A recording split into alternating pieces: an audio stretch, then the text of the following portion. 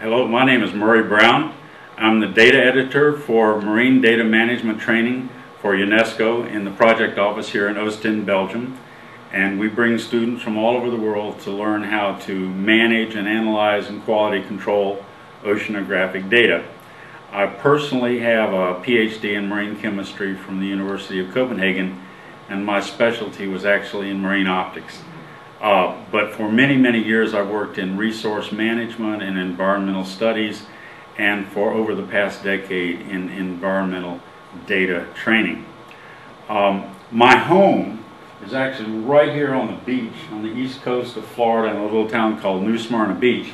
So it's a far piece away from Belgium, but we have a lot in common because when you're in the coast, it's all of the same social and economic and scientific issues, no matter where you are in the world.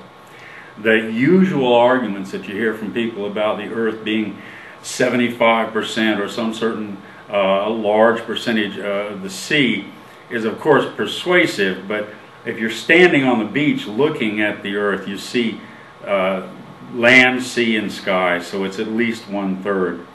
It's uh, my favorite, my very favorite places in the world are I've always been on the ocean because I was raised uh, by the side of the sea. And we all enjoy it for food, recreation, transport, places to live, solitude, uh, many different reasons.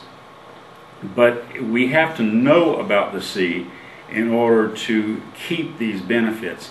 There are already many places in the earth that we've poisoned, we've trashed, we've physically destroyed, uh, and society knows now that scientific knowledge about the sea is necessary for wise management and retaining these resources at its margins.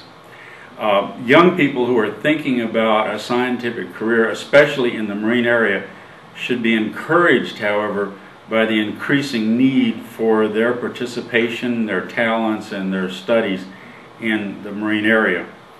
Um, some of my favorite topical marine areas are, are easily visible here in Ostend and, and at home also. Uh, for instance, if you walk down the waterfront in Ostend, you constantly see cranes and evidence of construction of homes, of seawalls, uh, replacement of structures. And all of this requires uh, marine engineering and a lot of knowledge about the geology and the, the physics of the coastal zone. And there's also a lot of social and economic aspects. Here in Ostend and back home in New Smyrna Beach, we have the same uh, uh, issue of uh, empty buildings, for instance. There's a lot of people who really enjoy their little seaside villa, but they're not living there very often, so this is a big issue. Something that we have uh, very different from you is that we do have offshore energy in the form of petroleum uh, being drilled offshore, and here you have uh, the offshore windmills. But regardless of whether you're, you're taking petroleum out of the, the sediments or whether you've got the windmills, you have these huge problems of how do you take very large machines, take them to sea and have them continue to operate and also create uh, an environment out there where um, uh, persons can also work. And then whether you're uh, bringing ashore uh, petroleum or you're bringing ashore electricity, you have this huge infrastructure problem, which all requires a lot of information about marine engineering. And uh, our beach in New Smyrna is uh, known to be a, uh, an area of significant erosion.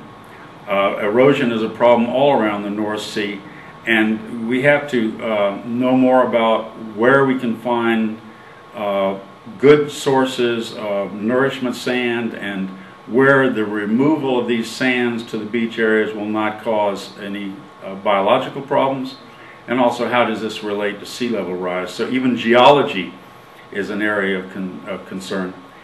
But uh, probably most people, when they start thinking about the sea, the first thing that comes to mind is the life in the sea because we're all uh, fascinated with all of the, the living creatures we see out there in the water. Um, you're probably very familiar with some of the more charismatic creatures like there's there's even there's seals, there's large birds, there's marine mammals, there's sharks. Uh, my hometown, by the way, happens to be the the uh, shark bite capital of the world. I know that's not a problem here in, in Ostend, But we're all familiar with the large creatures in the sea. But something that I have to mention right now is that the real truth of the matter is if something is large enough to see, then it's probably not important. And that sounds terrible, but you have to understand that the, the waters on the edge of the sea are a stew of invisible organisms that all require the right balance of nutrients, temperature, circulation, salinity, light levels in order to, uh, to grow and thrive. And then they're eaten by larger creatures and then larger ones and so on up the food chain. And all of these levels of the food chain and the factors that contribute to its success require biological studies, chemical studies, physical studies, all different kinds of uh, research and many different scientific specialties. So everything depends on this base.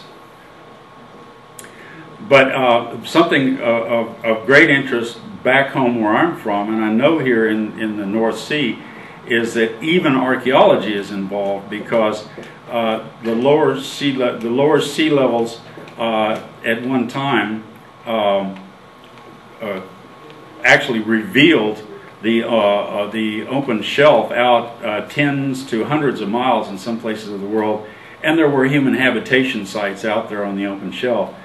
So I know for a fact that they have found bones and uh, worked worked bones and uh, pieces of pottery and other and other uh, artifacts offshore in the North Sea. So just about every scientific area, even the social sciences and archaeological uh, uh, sciences, have been involved in marine work. Um, at back home, and I don't know about this these particular beaches here. I don't think so much.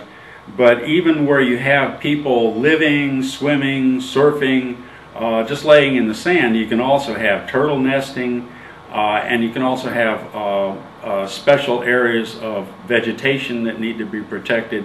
So all kinds of, of uh, botany on the coast is important too. Um, I, I want to thank you for listening to what I have to say because I, I, did want to mention some of my favorite topics. But my, my big point is that young scientists will find great opportunities for degree study and interesting jobs in the marine field. Uh, not necessarily out there tossing around in a boat like Cousteau, but in all of the ancillary sciences as well on the coast. Uh, per perhaps even in the social and economic areas, which are equally important.